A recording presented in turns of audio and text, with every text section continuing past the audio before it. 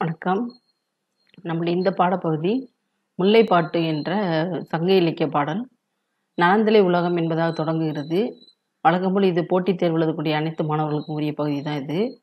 இந்த பாடலுடைய பொருளும் விளக்கமும் இந்த பகுதியில் நம்மளுக்கு இடம்பெறாது முல்லைப்பாட்டு எழுதிய பா ஆசிரியர் வந்து நம் நப்பூதனார் என்பவர். இந்த பாடலுடைய முதல் ஐந்து அடிகள் வந்து பின்வருமாறு அமைகிறது.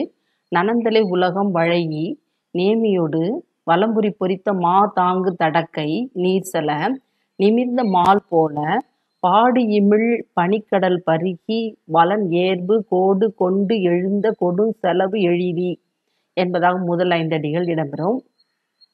இந்த நலந்தலை உலகம் என்பதற்கும் ஒவ்வொரு சொல்லுக்கு சொல்லு பொருளும் பார்ப்பதற்கு முன்பாக இந்த ஐந்தடிகளுக்கான பொருள் வந்து திருமால் போன்ற மழை பெய்கிறது. திருமால் என்று சொல்லப்படுகின்ற பெருமாள் பெருமாள் வந்து எவ்வாறு புராண கதைகள் சொல்லப்பட்டாரோ அதை போன்றதாக இந்த மழையானது மேகங்களுக்கிடையே எழுந்து பொழிகிறது என்பதாக முதல் செய்தி. அப்ப திருமாலை பற்றிய செய்தி என்னன்னா திருமாலுடைய தோற்ற வர்ணனை முதல்ல சொல்லப்படுகிறது. அகன்ற இடத்தை உடைய இந்த உலகத்தை வளைத்து காக்கக்கூடியவர் இந்த பெருமாள் அல்லது திருமால். இவர் எப்படி இருக்கிறார்? சக்கரம் சங்கு பொறிக்கப்பட்ட கைகளை உடையவர் திருமகளை தாங்குகின்ற பெரிய கைகளையும் உடையவர். திருமகள் என்று சொல்லப்படுகின்ற லக்ஷ்மியை தனக்கு அருகில் கொண்டவர் அவளை தாங்கக்கூடிய பெரிய கைகளையும் கொண்டவர். அவர் கைகளில் வந்து சங்கு சக்கரம் பொறிக்கப்பட்டிருக்கிறது. அவர் உலகத்தையே காக்கக்கூடியவராக இருக்கிறார். இது பூரா திருமாலை பற்றிய வர்ணனை. இவர் புராண கதைகள் இடம்பெறுகிற ஒரு கதையோடு சேர்த்து சொல்லப்படுகிறது. என்னன்னா மாபலி என்ற ஒரு சக்கரவர்த்தி இருக்கிறார். அவர் வந்து தன்னுடைய ராஜ்யத்தில் ஆளு ஆளு ஆண்டு கொண்டிருக்கும்போது ஒரு பெரிய ராஜசூய யாகம் என்ற பெரிய வேள்வியை நடத்துகிறார்.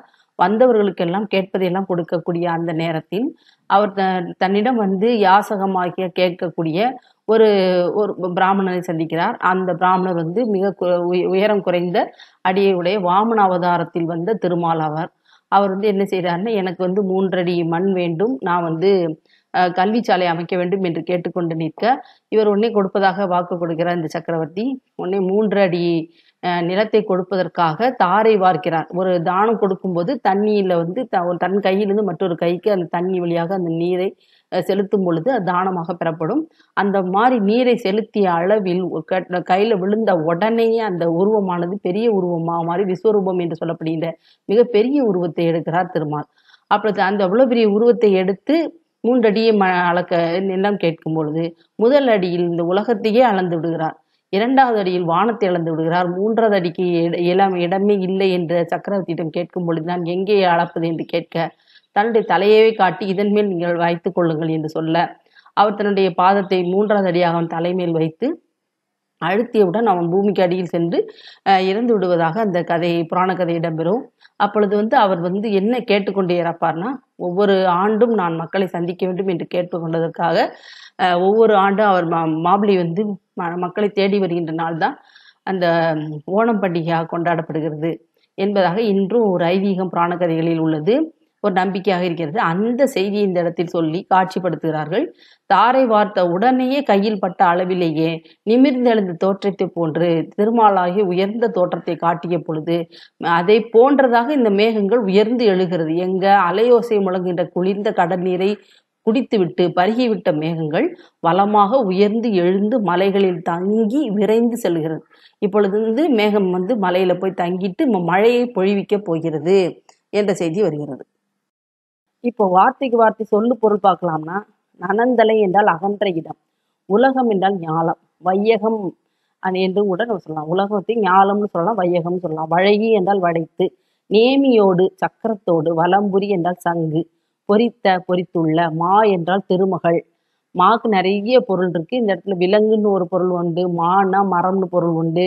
இங்கே திருமகளை குறிக்கிறது தாங்கி என்றால் தாங்கக்கூடிய தடக்கை என்றால் பெரிய கைகளை உடைய நீர் செல என்றால் நீரை வார்க்க நீரை கொ- செலுத்தியவுடன் நிமிர்ந்த உயர்ந்து நின்ற மால் போல திருமாலை போல பாடு இமிழ் ஒலி முழங்கக்கூடிய பனிக்கடல் என்றால் குளிர்ந்த கடல் பருகி என்றால் குடித்து வலன் வளமாக ஏர்பு என்றால் எழுந்து உயர்ந்து அந்த மேகங்கள் எழுகிறது. எங்க கோடுன மலை கொண்டு எழுந்த தங்கி எழுகிறது. மலையில போய் இது உட்கார்ந்து எந்திரிச்சு போது அந்த மேகம். கொடும் செலவு விரைந்து செல்லுகிறது. எழிலி என்றால் மேகமானது.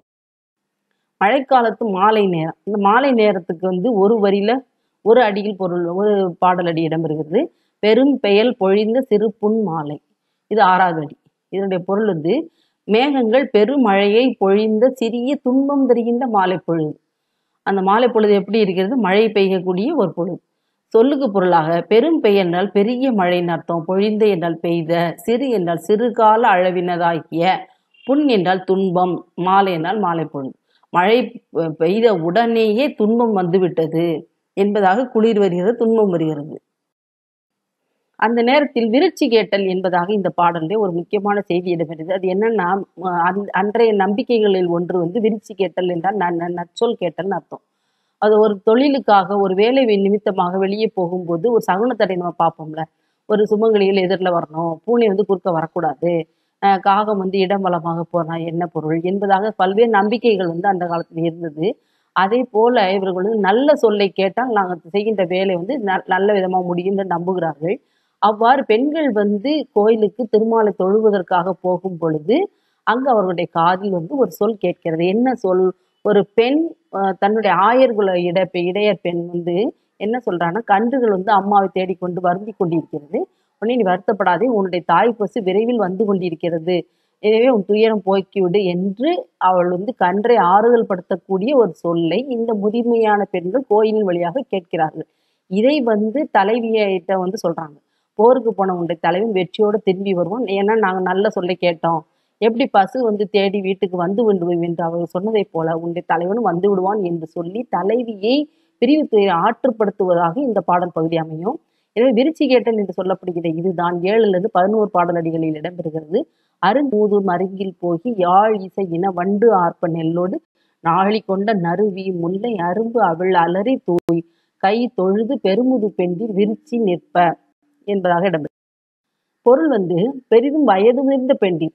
யாரும் அணுக முடியாத அரிய காவலை உடைய பழைய ஊரின் பக்கத்தில் சென்று திருமால் கோயிலுக்கு பக்கத்து கோயில்ல உள்ள பக்கத்துல இருக்க திருமால் கோயிலுக்கு போய் அங்க போகும்போது என்ன கொண்டு போறாங்க? நாளியில் கொண்டு சென்ற நெல். நெல்லை வந்து நாழி என்றால் உழக்குன்னு சொல்லுவோம்ல. அரிசிலாம் அளக் அளக்குறோம்ல. அதை வந்து உழக்கு என்று சொல்வோம். அதை வந்து நாளி நாளியில் கொண்டு சென்ற நெல்லோடு யாழிசை போல வண்டுகள் வந்து ஆரவாரிக்க அரும்புகள் மலர்ந்திருக்கக்கூடிய நறுமணமிக்க முல்லை மலர். அதை தூவுகிறார்கள். இப்போ வந்து முல்லை மலர் எப்படி இருக்கிறதுன்னு நல்ல வாசத்தோடு இருப்பதனால அரும்புகள் வந்து மொய்த்து கொண்டிருக்கிறது. அதையும் இந்த நெல்லையும் எடுத்துக்கொண்டு இறைவனை வேண்டி கைதொழுது அவர்கள் சொல்லாகி விரி விரிச்சி அவர்கள் கேட்கிறார். இப்போ சொல்லுக்கு பொருள் பார்க்கும்போது அருங்கடி என்றால் அரிய காவல் மூதூர் என்ற பழைய ஊர் மருங்கில் என்றால் பக்கத்தில் போகி என்றால் சென்று யாழ் இசை யாழினுடைய இசை வண்டு என்றால் வண்டினம் ஆர்ப்ப ஆரவாரிக்க நெல்லொடு நாழி கொண்ட நாளியில் கொ- எடுத்துக்கொண்ட நறுமணமிக்க வி என்றால் மலர் அரும்புன மொட்டு அவள்ன மலர்ந்த அலறின மலர்ந்த பூ தூயின தூவி கை தொழுது கையினை தொழுது பெருமுது வயதான பெண்டீர் பெண்கள்.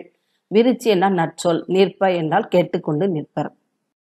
இப்போ அதுக்கு அடுத்த பகுதியாக என்ன பிரிச்சுக்கிறாங்கன்னா பன்னெண்டுலேருந்து பதினேழு வரைக்கும் உள்ள பாடநடிகள் ஆய்மகளின் நற்சொல் கேட்டலும் தலைவியை ஆற்றித்தலும். ஆய்மகள் என்றால் இடையர்குல பெண் வந்து நற்சொல் அவள் அவளுடைய இடையர்குல பெண்ணினுடைய நற்சொல் இவர்கள் கேட்பதும் அதை கேட்ட முதுமையான அந்த முதுபெண்டீர்கள் வந்து தலைவியை ஆற்றுப்படுத்தல் அவளை வந்து துயரத்தை பொறுத்திருக்குமாறு சொல்லுகின்ற பகுதியும் சிறு தாம்பு தொடுத்த பசலை கண்டின் உரு துயர் அலமரல் நோக்கி ஆய்மகள் நடுங்கு சுவலசைத்த கையல்.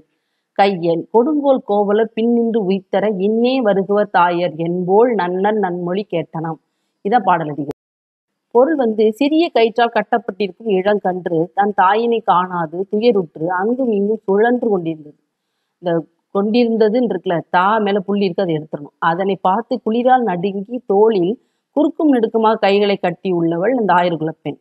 அவள் வந்து என்ன சொல்றான்னா வளைந்த கோலினை கையில் வைத்துள்ள கோவலர் பின்னே நின்று செலுத்த உம்முடைய தாயர் இப்பொழுதே வருவர் என்று கூறிய நன்மிதரும் நல்ல சொல்லி நாங்கள் கேட்டோம். என்ன அர்த்தம்னா அவங்க வந்து இடையர்கள் மேய்ச்சலுக்கு போயிட்டு போயிட்டு திரும்பி வரப்போறாங்க வரும் பொழுது அந்த தாய் பசுக்களை பின்னிந்து அவர்கள் செலுத்துகிறார்கள். தங்களுடைய கோ- கோல் என்றால் கம்பினால் அவர்கள் த அழுத்தி தள்ளும் பொழுது அந்த ப- பசுவானது விரைந்து வந்து கொண்டிருக்கிறது. எனவே உன்னுடைய துயரை போக்கிவிடு என்று அந்த இடையர்குல பெண் சொல்லும் பொழுது அங்க உள்ள குளிர்னால மழை பெய்திருக்கு இல்லையா? அந்த குளிர்ந்த மழை பெய்திருக்கு.